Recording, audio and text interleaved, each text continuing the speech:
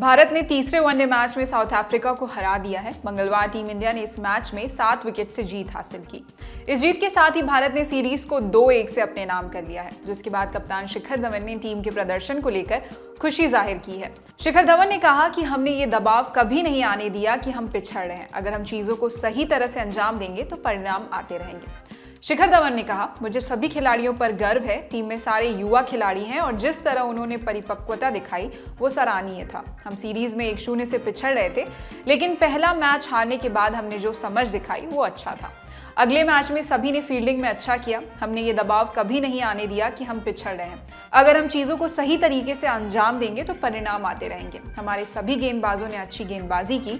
जहाँ तक मेरी बात है तो मैं अच्छा करना चाहता हूँ, फिर चाहे मैं किसी भी टीम के लिए खेलूं। मैच की बात करें तो इंडियन कैप्टन शिखर धवन ने टॉस जीतकर पहले बॉलिंग का फैसला किया। टीम के बॉलर्स ने उनके फैसले को बिल्कुल सही साबित किया और साउथ अफ्रीका की पूरी टीम को निन्यानवे रन पर ऑल आउट कर दिया। दक्षिण अफ्रीकी टीम की तरफ़ से महज तीन बल्लेबाज ही दहाई का आंकड़ा छू पाए। हेनरिक क्लासन ने सबसे ज़्यादा 34 रन बनाए, जबकि जानेमन मलान ने 15 और मार्को एंसन ने 14 रन की पारी खेली। भारत की तरफ़ से कुलदीप यादव ने सबसे ज़्यादा चार विकेट लिए। वॉशिंगटन सुंदर, मोहम्मद सिराज और शाहबाज अहमद ने दो दो विकेट हासिल किए।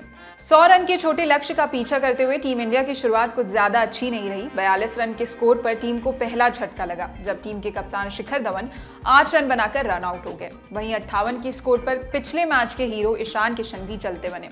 किशन ने 10 रन की पारी खेली, जिसके बाद श्रेयस अय्यर और शुभमन गिल ने संभल कर बैटिंग करते हुए टीम को लक्ष्य के करीब पहुँचा दिया। सत्तानवे रन के स्कोर पर टीम को शुभमन गिल के तौर पर तीसरा झटका लगा। गिल उनतालीस रन बनाकर आउट हुए, जिसके बाद श्रेयस अय्यर ने छक्का लगा टीम को जीत दिला दी।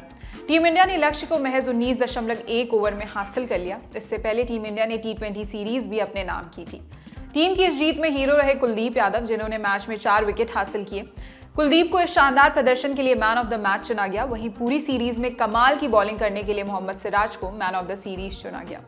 फ़िलहाल इस खबर में इतना ही। आपके लिए खबर लिखी थी हमारे साथी रविराज ने। मैंने हारिका यादव। देखते रहिए ललन टॉप स्पोर्ट्स। शुक्रिया।